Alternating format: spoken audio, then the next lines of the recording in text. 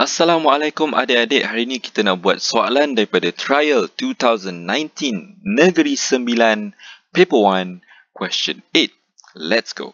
Given that P to the power of M is 2, P to the power of N is 5, express ataupun ungkapkan bla bla bla di dalam sebutan M dan ataupun N. Alright, so Now, kita ada benda yang bercanggah sekarang ni. Info ni dalam index. Kan? And then yang dia minta ni dalam log pula dah. Hah, macam mana tu? Now, let's manipulate ataupun kita ubahkan sikit dia punya info ni. Ha. Okay. So, info tu kita ada P to the power of M equal to 2. Now, this one, kita boleh gerakkan P. P besar ni kalau kita gerakkan ke sebelah okay, dia akan jadi log. Right? So, M tu dia akan jadi besar macam ni. P tu pindah ke sebelah. Disebabkan dia base, dia akan jadi log P2. Okay? Serta cikgu akan sebut log 2 base P. Boleh je mana-mana. Eh? Alright. So, this is the first um, info. The second one we had was, where was it? P to the power of n equal to 5. This one, sama juga, this p, you can move it over there. So, kita akan dapat, yes, n, sorry, kita guna hitam eh. So, n is equal to, this time it's log p 5. Alright, settle. Okay, ni boleh cantik sikit info kita di dalam bentuk log. Kan? So let's go. Kita ada log 4p 2.5. Okay. Banyak benda yang susahkan hidup kita sekarang ni. The first one. Benda yang paling critical adalah the base. Base sekarang ni 4p.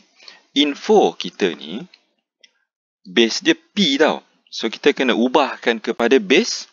Yes, base p juga.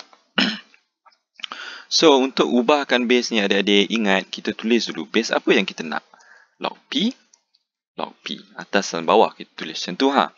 Now, the first one, atas tu kita nak tulis yang besar dulu. Maksudnya 2.5 dulu. eh.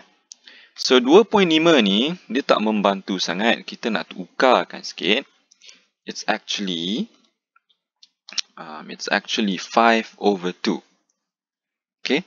Kenapa nak ambil nombor yang melibatkan 5 dan 2? Because, kalau you all tengok dekat info yes, kita ada 2 dan 5.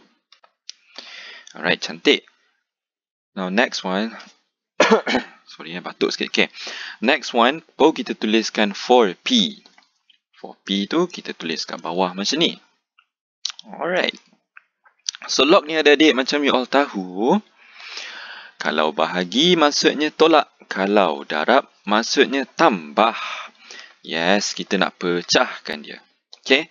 So, atas tu dia akan jadi apa? Since dia bahagi. So, dia akan jadi apa adik? Yes, dia akan jadi tolak. So, log P5 tolak log P2. Settle. Bawah pula macam mana ni ha? So, kita nak pisahkan eh, 4 dengan P tu. so, dia jadi log P.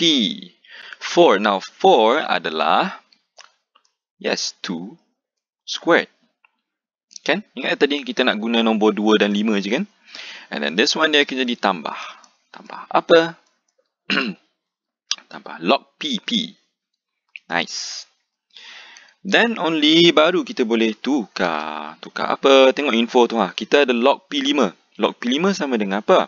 Yes, sama dengan N. So that one, I'll change it into N. Cantik. Next one kita ada log P2. Log P2 adalah M. So kita ubahkan jadi M. Okay, sini hati-hati. Now adik-adik. Tadi kita dah ubahkan 4 tu jadi 2. Kuasa 2 betul? Now kuasa 2 ni make sure you all pindah ke depan dulu. Yes. So this one dia akan hilang. 2 ni dia akan hilang eh. Top. Dia akan hilang. And dia akan pergi ke hadapan. Okay, cantik. So log P2 tadi adalah M. So bawah tu dia akan jadi 2M. And then this one. This one kita boleh simplify. Potong jangan jadi kosong. Dia jadi 1. Alright. So bawah ni dia akan jadi tambah satu. So that's the answer. Okay. So cukuplah satu soalan untuk today. Later Along akan, Along akan post lagi. Boleh? Alright. See you. Bye-bye.